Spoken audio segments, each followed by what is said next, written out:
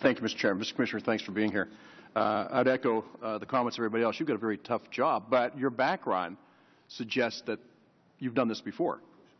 So when you were turning around different companies, and you said you were called in to help out with troubled companies, when you look at the IRS, your number one goal right now, it, it has to be restoring its image with the public, does it not? It is. I think, as I said, it, I, I don't say it as uh, words. Public trust in the agency is critical. It's our most valuable asset. It's important to the, you know, we collect 91% of the revenues. We touch virtually every American. Yeah. So we've got to have people confident for. And we, and we agree on that. And I gonna think we also gotta- agree that you and I both work for the same people. Uh, I've always said Yeah, these are well- taxpayers' funds we're spending. They need to be confident we're stewards of And, it. and I think Mr. Paulsen alluded to whenever he's at back home, and Mr. Martin talked about the same thing. When I'm back home in Western Pennsylvania, uh, I talk to people all the time. We try to gather information, as you just said. You know, come to us, let us know what's going on, make us aware of what's happening. You know, I, I tell me people come to me and talk to me, and this is not anecdotal. This is a fact. You know what they say? You can use my story, but you can't use my name. I- Now, the reason they say that is because the history uh, doesn't doesn't have the same projection as the words. And you know, I've been around for a little bit of time. There's usually when people tell little stories or jokes, they say there's the, the three biggest lies. Uh, two of them could be something up other, but the last one is always I'm from the government. I'm here to help you. Right. Uh, I would just suggest, and I don't know how you're going to do this. You're a turnaround guy, so I'd like to hear how are you going to turn that around? I hear what you're saying, but I heard Mr. Werfel come here and he gave us a document said this is our path to getting this fixed, uh, and then he didn't stay in the path very long and went someplace else. You're on board now, and this is a turnaround issue. I mean, I'm really concerned about this because I got to tell you, the American people. Uh, I don't know what the approval rating is of the IRS, but you know what? They're they're scared to death of the IRS Right. because of the past performance. So we have these talks. It's great that we go back and forth and we say, how are you going to fix it? But the reality of it is, they just don't trust the IRS because of the way they've been handled in the past. These people aren't treated very well. And I would just say what you said earlier. Did I understand you to say that if you make over a million dollars, you got a 1 in 10 chance of getting audited? That's the number, yes. That's the number.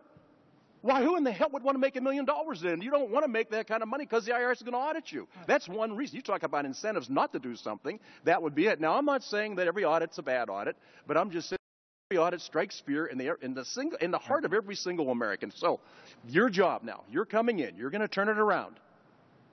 And, and I looked at the figures. The, the Secretary of the Treasury makes $199,700 a year. You make slightly less than that.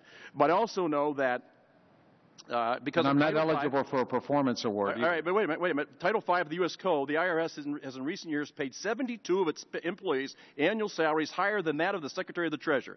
This includes 33 employees who earn more than $225,000. Is this part of your turnaround, getting a better focus on how we pay these folks? Oh, yes. actually, we have special authority that was provided by the Congress actually with the So, was the answer is yes? You, you're going to look into that? I've already looked into it. Okay.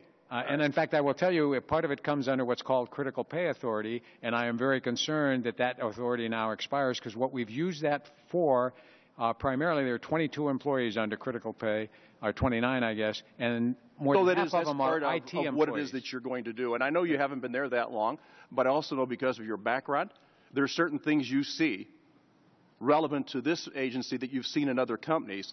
And as you were called in to help companies that were in a troubling times, your number one objective right now, and I got to tell you this this uh, this idea. Now I know we've talked about people having drawing conclusions, but you were drawing a conclusion that says I'm not going to make a statement based on people making a statement uh, on facts that aren't yet put out there, whether it be Chairman Camp, whether it be the President of the United States, or whoever it is. The truth of the matter is, we don't know yet what the answer is in the investigation of the IRS, do we? Uh, no, that's right. We're all waiting to see what you find. But the answer is yes. We, we don't know, do we? No, that's correct. Okay, so we don't know. So nobody can make a declarative statement saying, "Uh, this no, it's not funny for me. I got to no, tell you. no, no, I'm I, no, no, I'm I've serious. just heard. you know, when I I've go heard just- home, this is. I've this heard is- declarative statements from several people. and I understand that, but you didn't tell them exactly what they're asking you. My point would be nobody can stand in front of you and tell you that this is clear, that these are there's absolutely not one smidgen of, of, of evidence that proves it's not there. The, the, the investigation isn't done. It isn't done.